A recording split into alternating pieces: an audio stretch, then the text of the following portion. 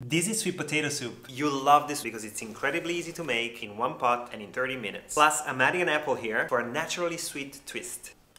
Wow, buonissima. To make it, fry a chopped onion and a carrot in olive oil for 3 minutes. Add grated garlic and ginger, some cumin, a hint of red pepper flakes, and fry for 2 more minutes. Now add in the vegetable broth, peeled and diced sweet potatoes, peeled and chopped apple, then season with salt and black pepper. Now cover with a lid, bring it to a boil, then crack the top open and let it simmer for 20 minutes or until the sweet potatoes are fork tender. Now blend the soup with an immersion blender, stir in some apple cider vinegar and a bit of coconut milk or cream. Simmer 5 more minutes. Easy, right?